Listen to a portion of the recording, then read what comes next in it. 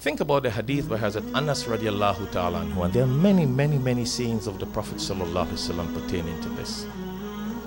The Holy Prophet Muhammad, peace be upon him, said, I want you guys to think, those of you who remember this hadith. He said there are four women who are the women of paradise, and he announced them in advance that they are the special, prominent women, and says that they will be the women of paradise. Who were those women? Hazrat Khadija radiallahu ta'ala anha. Hazrat Fatima, Khadija, the Prophet's wife. Fatima radiallahu ta'ala anha, his daughter.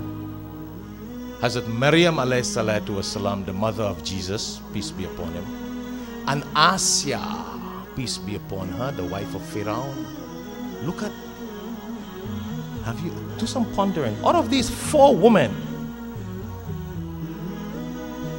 Out of these four women, you did not have Salah implemented five times a day. Yes, in the time of Moses and Jesus and everyone else, they prayed. So Maryam والسلام, prayed. They didn't pray this style of five times Salah in four rakats and two rakats. It was a different type of Salah.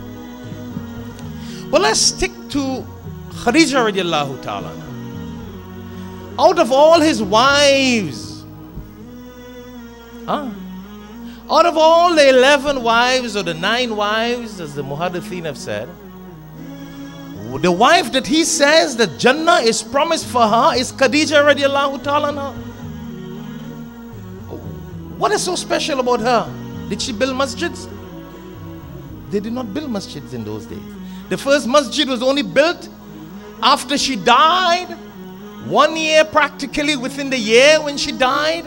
She died in Ramadan. And in the next year, Rajab, the Prophet ﷺ ascended to the heavens on Miraj and he got the gift of Salah. Salah was commanded after she passed away. When the Prophet, peace be upon him, went into Medina, it is then he built the first masjid. So Khadija radiallahu ta'ala wasn't praying five times a day in a masjid. She didn't build no masjid. But out of all the wives who prayed in masjids, Khadija radiallahu ta'ala anha is the one he promised Jannah.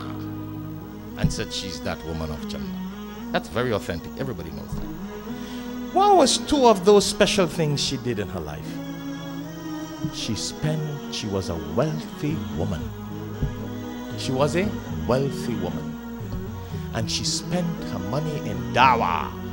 Because the Prophet ﷺ, when he was married with her, he got the revelation of the Quran and he started to give the dawah. And she, he stopped working. He used to work for her before in her business. He stopped working and he started giving dawah, fisabilillah, inviting people to God. And she maintained him financially to do that. And what was the next thing she did? She used to help the poor. She used to do what? She used to feed the poor. She used to clothe the poor.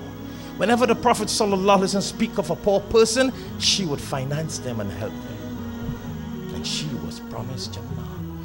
He always boasted of this wife to his other wives after she passed away. Allah.